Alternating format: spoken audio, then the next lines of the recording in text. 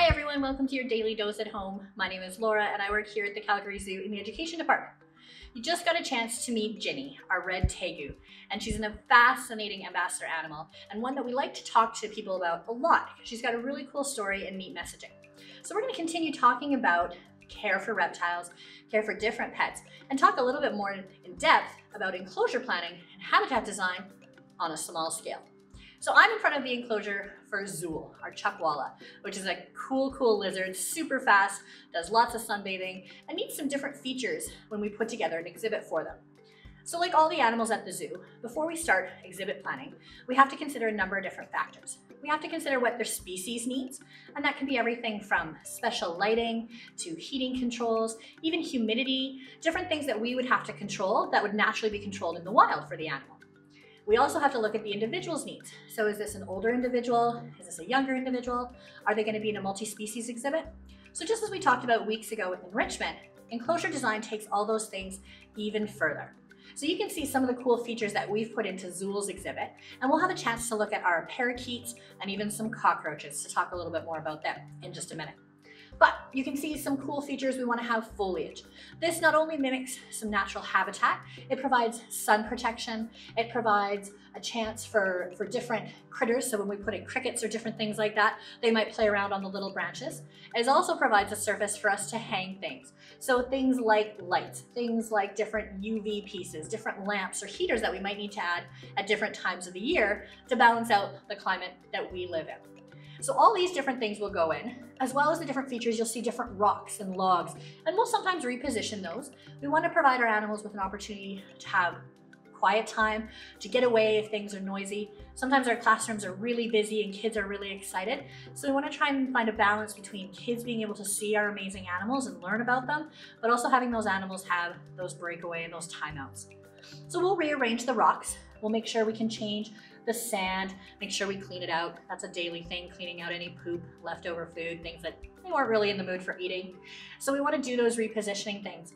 We also, also wanna have lots of natural light wherever is possible. And if we can have them go into multiple enclosures, that's our ideal. So sometimes that's switching enclosures. You learned about that with our Komodo dragons and the different shifting that we have to do. And sometimes it's seasonal. So it's moving them to an entirely different classroom or a different space for the couple months so they have a new habitat, perhaps more outside access, or just access to different sights, sounds, and smells. So let's take a look at our parakeets next. So now we're in front of our Alexandrine parakeet enclosure. You can see this looks completely different than the reptile enclosure, and that's for many good reasons. So we want things for them to be able to destroy. Parakeets and other birds with really large beaks, they like to explore. They're curious, they're very strong, and they get excited about tearing things up and the more things they can break open. So we have to get creative. Sometimes it's simple things like cardboard or different chunks of, of corrugated cardboard or even small pieces of books. Sometimes it's different nuts, so shells that they have to crack open with their beaks. We also want to try and provide different types of food and we move it around the enclosure as well. So when you're designing the actual exhibit that they go into, same as with the reptiles and with our other animals, we need to look at how much space do they need? How much time are they gonna spend in there? Is it something that can be moved? Some of our smaller enclosures or even our bigger enclosures can be put onto casters and wheels and they can be moved outside. Like we talked about those seasonal moves with some of our reptiles and, and even Sheldon, our tortoise, moves seasonally.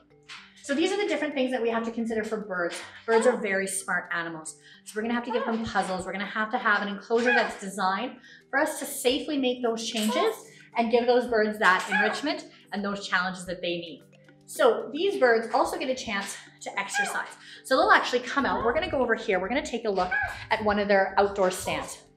So this is something that we put out in the classroom where the birds can come out, they can explore. They might do a little bit of flying around the room. And this is when there's nobody else in here other than the keeper. So they, same thing. They'll have different, different toys, different things for them to explore. And it's a chance for them to, if they want, come out. The keeper can go in and safely clean their enclosure. That's something that we have to keep in mind for all of our animals. One of the questions we get asked a lot is, how do you go inside and clean? Do the animals just sit and wait? What do they do? For most of our animals, we don't go in with them. Some of our smaller ones, it's not a problem, but most of them, we offer them the option to go outside or into a smaller holding area in the back so they can be safe our staff can be safe and we can go in there and do the dirty job of cleaning up all the poop and putting in new enrichment items. Now we're here with our Caribbean giant cockroaches. You have a chance to see a much smaller tank or much smaller terrarium, a smaller exhibit design here at the Calgary Zoo, but equally as important that we take into consideration all those factors that we've been talking about. You get to see the humidity being produced by one of our small humidifiers or a reptifogger. That's a common thing in some of our small animal enclosures. And you also get a chance to see how we've built the enclosure. So like we talked about with Zool, different places for them to hide and explore. Lots of good climbing structures, lots of great places to, to put their food, and lots of good places to add in different vegetation. So we wanna make sure we're monitoring temperature. We control their lights. A lot of the tanks will have timers. And again, we control their humidity. So these are all different considerations that we take when we're building enclosures. And those considerations just get bigger and a longer list as the animals get bigger. So as animals are bigger in size, as there's more than one individual, or if it's an animal like the parakeets that is incredibly intelligent, then we just have a longer list of factors to consider. And this is why we use a whole team of people from animal care. So that's zookeepers, there's habitat specialists, folks who focus on the plants and the trees that are gonna go into the exhibit, as well as people in our facilities department. So these are project managers, these are engineers and architects who can help us build structurally sound and really structurally innovative and sustainable enclosures for our animals here at the zoo. So today, in our take-home activity, we've got a quiz for you because these are some really popular pets and different animals that people might want to have at home. So we've got a quiz for you to find out which pet is right for you. Are you going to be able to mimic the, the features of their environment? Do you want a pet that might live 60 or 80 years? Do you want a pet that you have to feed mice to? So take that quiz and see if you can find a pet that's right for you. Thanks so much for tuning in. Thank you for supporting wildlife conservation.